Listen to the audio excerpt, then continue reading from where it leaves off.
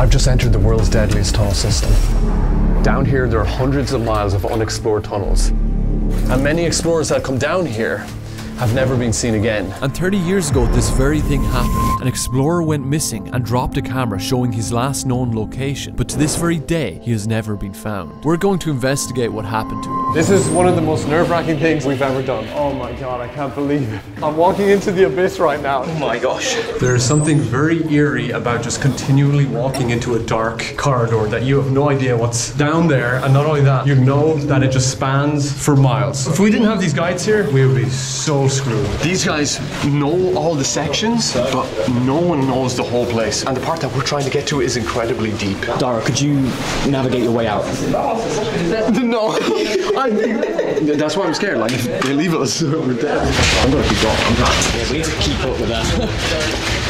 The guy who went missing left these clues to his location with these markings on the wall. Where is this? I don't know. We can try to find We it. We can try finding it. This is hours away just to get to this area that possibly this guy could have been in. Oh, we've got a, a mystery to solve. We then trekked hours into level 1 of the catacombs, reaching many checkpoints such as Chateau, So what? This is like the first checkpoint or something? Yeah. La Plage, Second checkpoint. We're getting deeper. but next up we had crawls, Oh my god. long hallways, This place is a maze. You could go that way, that way, that way. I can't believe how deep we are. We literally have to crawl through this hole to like get into the next segment. and finally we were ready to descend into level 2 of the catacombs. We've made it to the Kraken room. Apparently that's good. The deeper we go, the scarier this kind of gets. Oh wow. Okay, so Oh my god. Someone literally lives there. That is a bit scary. Although we're crazy deep in, somehow there's someone that lives down here. the scariest part about being down here is the people who might run into you. What you may not know is it's incredibly dangerous to be a foreigner with a camera down here. They are often attacked, robbed, and left to die by the people that live here, and we were about to bump into them. There's good. All good? All good? We've hidden the camera because other people might not be able to. So there's some people coming up behind us, people we don't know, and that's kind of scary. We needed to get to safety, so our guides checked out a new route. It goes directly where we want to go. The only problem is it's a very tight crawl, Okay, guys, I'm gonna go. and we had no idea what was waiting for us on the other side.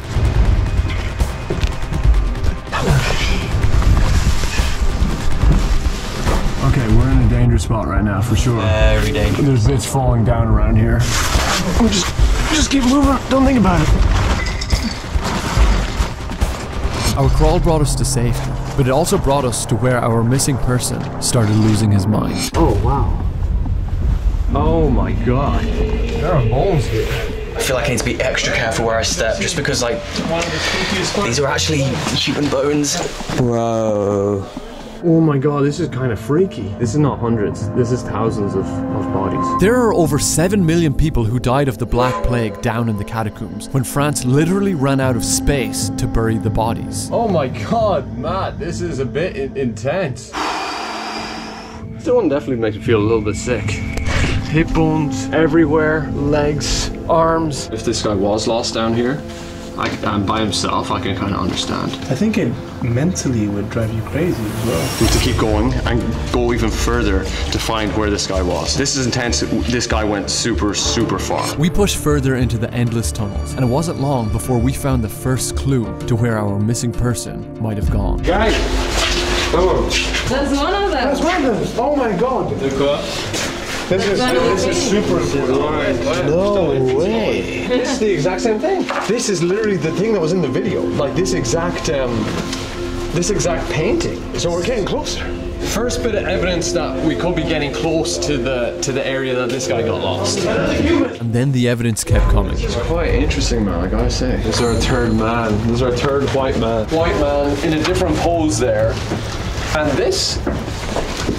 This definitely looks similar to the video. Since we were on the right track, we studied the missing guy's video once more, and we noticed something we hadn't before. It seems blurred. It looks really It does actually, doesn't it? They've definitely blurred it. Yes. But did the documentary blur it? I don't know. I think the guy, I think that because if we had this number, Yeah, we we, would find it right we away. can find it right away. We noticed that the footage from Clue 2 has been deliberately blurred, suggesting that the documentarian who found the camera 30 years ago is trying to hide the last location. We had no idea why he would try to hide this, and we were beginning to run out of time. Batteries just ran out, so lights are starting to get low. Our time down here is limited by how much light and batteries we have at this point.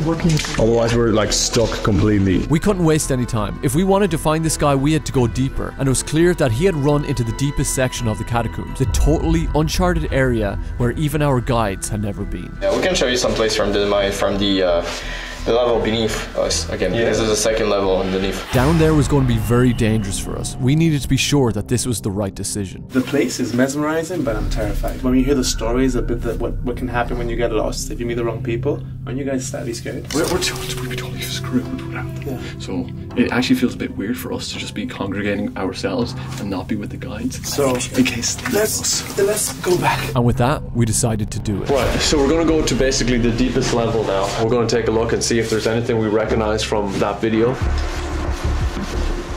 Oh yeah, this goes deep. Wow. Literally gone into the unmapped segment. This entire area, there are no maps. No one knows where to go down here. No one knows how big it is. And this is where this guy, it looks like, it looks like we're getting closer. This is almost as deep as it goes. And once we entered down there, we found an even greater clue. This is the same uh, paint than the Z in the video. I know that because I've seen the, the real Z in real life. Yeah, this is this is the part where it gets freaky because this is the part of the minus two that I don't have enough map and I've never been here. Let's hope this is the way.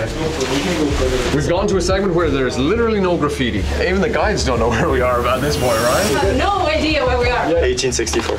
This with that this makes me feel that we're getting closer. Yeah, it seems it seems endless. This Never stops. As we got deeper, our guides got spooked. And there's someone who's been down there. It could be true that he got lost. We don't have a map for this port. I don't know. It go- It's endless. This was probably the moment we should have turned around, but we decided to go even deeper. Okay, we're going serious uncharted right now. We've gone so deep that the guides do not know, ha- never knew this existed.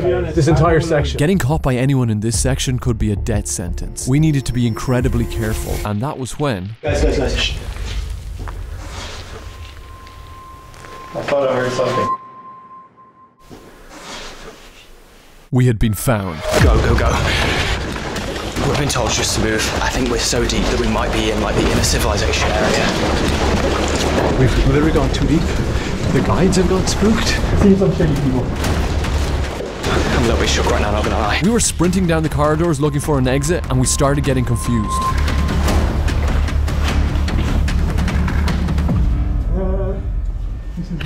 This was really bad. Are we okay? What's... Let me go up front. Yeah. Keep going. Keep going. Keep going, okay. Yeah. You remember? Cool. Yeah. Then eventually, we found the right stairs.